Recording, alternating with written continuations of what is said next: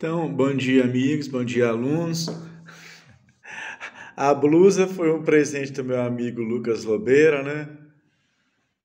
Obrigado aí, Lucas. Mas a blusa é.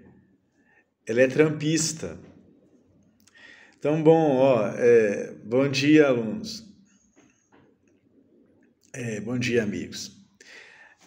É, eu tô fazendo esse vídeo para falar do social imperialismo. O que, que é social imperialismo? Porque eu vi que não há nada em português. Achei um vídeo no Wikipedia, achei, achei um link no Wikipedia e achei um vídeo no YouTube em inglês. Então, o que, que é social imperialismo? Ele tá, esse termo está dicionarizado. Ele se refere aos debates na Alemanha no final do século XIX começo do século XX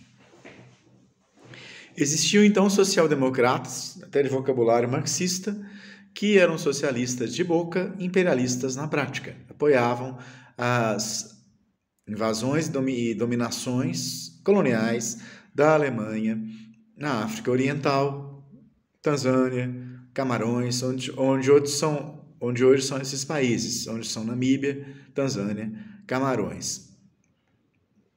A Alemanha também tinha colônias na Polinésia e uma parte da Papua Nova Guiné.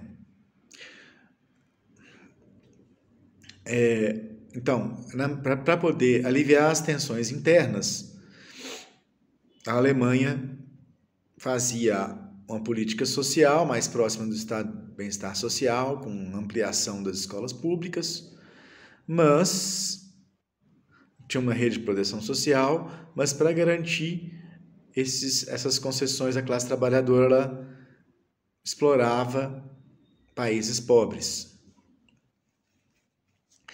Então, é, até isso também tem um reflexo ali na Segunda Guerra Mundial, quando os, esses social-democratas da Segunda Internacional, com vocabulário marxista e prática imperialista, apoiam a Primeira Guerra, em 1914.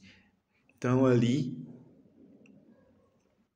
é, se desfaz a Segunda Internacional, o marxismo cai num descrédito até 17, quando acontece a Revolução Russa, e é a vertente do Lenin que,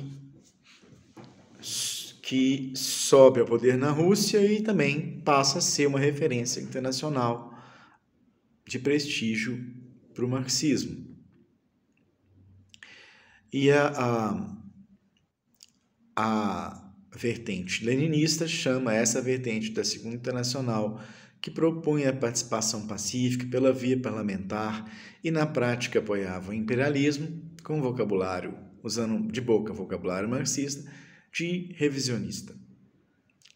Então, o social imperialismo está é, tá bastante marcado pelo, debate, pelo grande debate ali nos anos 60 de Mao Tse-tung do Partido Chinês com a União Soviética de Khrushchev então, a União Soviética foi denunciada como social, imperialista, e Mao Tse-tung foi até mais longe, uns anos depois, chamando a União Soviética de uma ditadura semelhante a um hitlerismo.